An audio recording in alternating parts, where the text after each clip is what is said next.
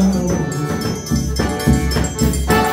Me leva saudade de alguém que fica chorando de dor.